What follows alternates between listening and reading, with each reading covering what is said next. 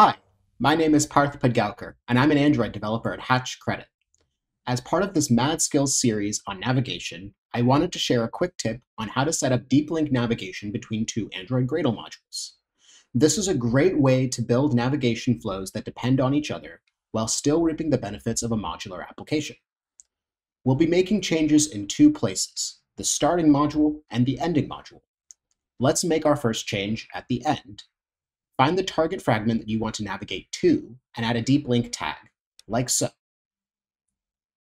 Great, we're halfway there.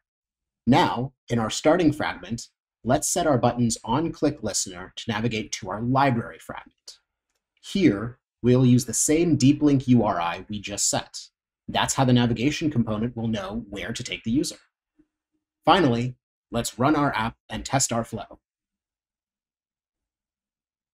Nice, it works just like we expected. Here's the really awesome part.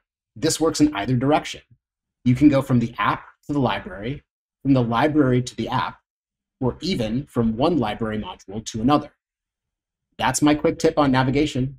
Thanks for watching.